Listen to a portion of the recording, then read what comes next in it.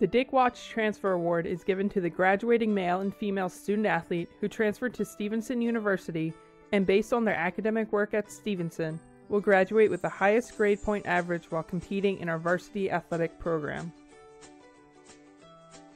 The 2020 male recipient of the Dick Watts Award is Ray McDermott of the men's tennis team. A three year member of the program, Ray is a digital marketing major with a 3.681 cumulative GPA at Stevenson.